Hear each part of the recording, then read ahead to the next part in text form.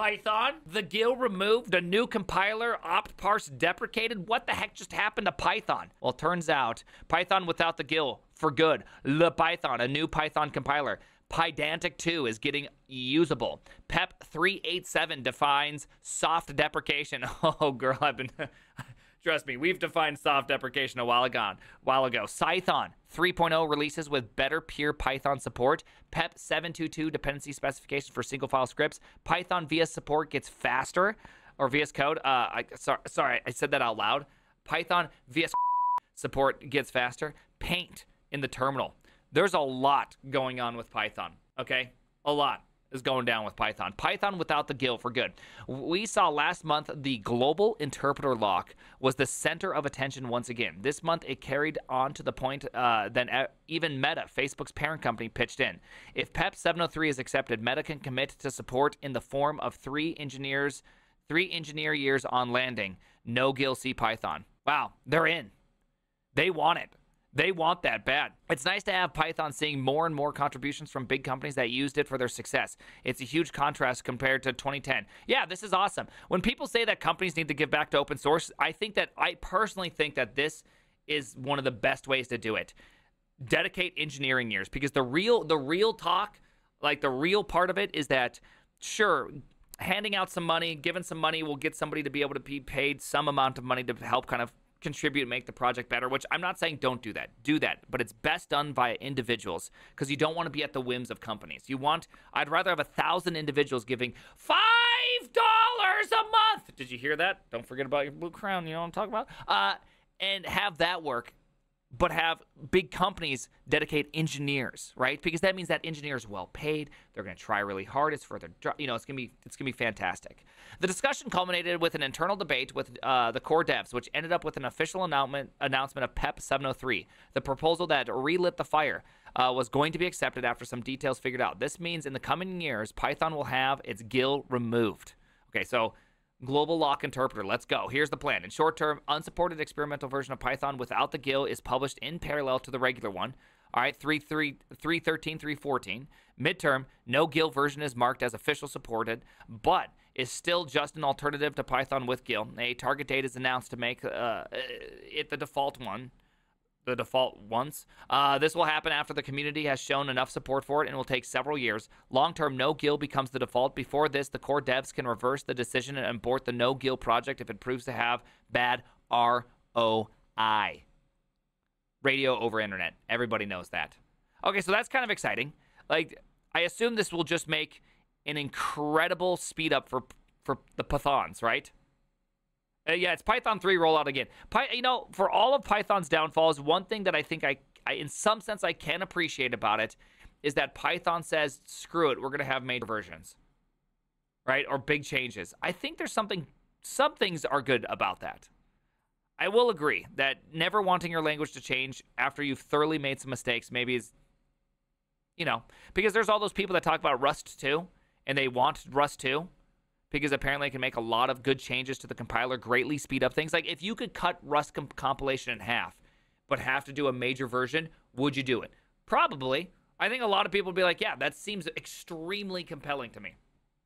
You know, Rust 2 would be exciting.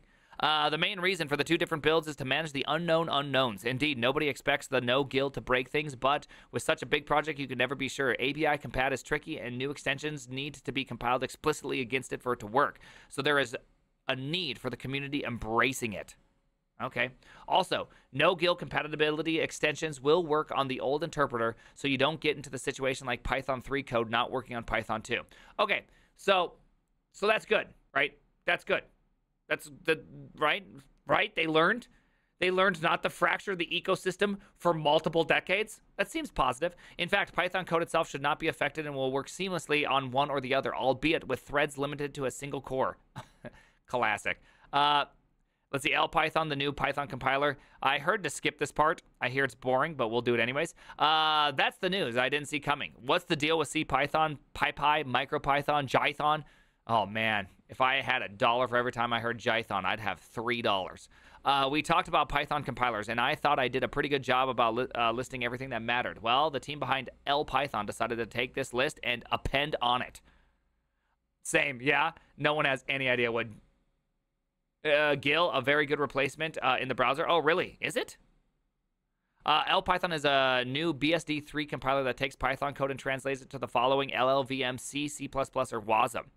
Oh, it does. Uh, it doesn't aim to compile the entire program, although it can, but rather, like Numba in Cython, to let you speed up numerical bottlenecks. Okay, cool. The benchmarks are very promising, and the ability to switch ahead of time and just in time are were very convenient. Oh, very cool. Uh, although you'll still need to uh, need the entire compilation chain installed on the machine. Classic. That's why we have Docker. That's why that one dev invented Docker. LPython likes raw Python code. You know you like your raw LPython. You know you like the raw Python. So if you call Python function inside your snippet, you must explicitly mark it as raw. Raw. It's just raw. You just, just wants it raw. Um, so you ruins it. Uh, so most likely you'll use it for very specific snippets. Uh, Pydantic 2 is getting uh, usable. I've been pitching the coming version of uh, 2 of Pydantic for some time because I and many people use it a lot for data validation and schema definition. Oh, is Pydantic like a type system on top of things? Raw dog and Python. You know we got to do that. You know you got to do it every now and then, right? Also, clip it. Uh, yes, it came uh, out as stable last month, but if you read the Relieving Your Python Packaging Pain, you know that I don't encourage people to use the latest version of anything except for testing and having fun. Yeah. Uh, it's a schema validation library. Oh, interesting. Like Zod? Is it supposed to be some version like Zod? You can do the Gollum voice. Yes, I can. Smeagol! Smeagol! Master! Sorry, I don't know what's happening to me. Master! Master! It gets, it gets, it puts the Zod in. Canceled. We love it. Uh, anyways, uh, Pedantic 2.1 is released. The first wave of nasty bugs have been eradicated. The fast API announced support for Pedantic 2. It's since the biggest uh, driver of Pedantic 2 usage. Okay, Pedantic. PEP 387 defines soft deprecation. Okay, this is what we need to know about what the hell's soft deprecation? If you haven't read Victor Stinner's uh, blog yet, I encourage you to do so. It's technical and raw with a zero BS. It gives you a good view of what happens inside the contrib- contribution life of a core dev. Last article mentioned something I missed last month. Soft deprecation has been added to PEP 387 backwards compatibility policy. This document, created in 2009, states how Python projects deals with deprecation and how it will contain the following. Soft deprecation can be used when using an API which should no longer be used to write new code, but it remains safe to continue using it in existing code. The API re- remains documented and tested but will not be developed further. No enhancements. The main difference between soft and regular hard, the we call it pick deprecation he's always hard, uh, is that soft deprecation does not imply scheduling the removal of deprecated APIs. Okay. A soft deprecated API is in a zombie state to maintain alive forever, but will never see any work. Okay, cool. By the way, uh, I don't know if you know this. Uh, I was recently using I know soft and hard at the same time. I want I want something soft that eventually becomes hard. Okay, we need a soft to hard roadmap. Like, what do we have to do to go from soft to hard? Real question. Okay. Uh, I had a question, but now I forgot. Oh yeah, by the way, I was playing with OCaml, and OCaml is really awesome. They have a really great like arg parse library. Just a bit more of that Smeagol impression. No, not gonna do it. We'll have to wait. We're going to have to wait. Cython 3.0 released with better pure Python support. Cython, the most famous uh, Python compiler, released version 3. While the release comes with all sorts of improvement, one particular stands out. Cython always has limitations. It used a superset of Python to express some of its features. This is no more the uh, this is no more the case as the release notes. It should now be possible to express all Cython code and use all features in regular Python syntax. Okay. I assume this means it's like a go time, right? Sounded uh, just like your regular voice. Your Smeagol impression sounded just like your regular voice. Hmm. There, see, there goes that emotional trauma again. Now I get to carry that around for a while. Joys. Uh, Smeagol Camel. Uh, uh, PEP uh, 722 dependency specification for single file scripts. While there, uh, while the no GIL topic was certainly still alive, and while the proposal of PEP 722 really heated things up. Oh damn! I bet you some people got up and shifted uncomfortably. The idea is to formalize the syntax in comments that, similar to Groovy's. Okay, first off, you should never cite Groovy. Okay, Groovy is st- I still hate Groovy. Uh, all my all my homies hate Groovy. Uh, between this and Mojo, Python is feeling relevant again. Yeah, I don't think Mojo's going to deliver anything. Honestly, I really don't think Mojo's going to deliver a lot. Um, the only reason why I say that is that You know, there's like this thing called C, and it can just like go into Python, just like in it, and it's like fast.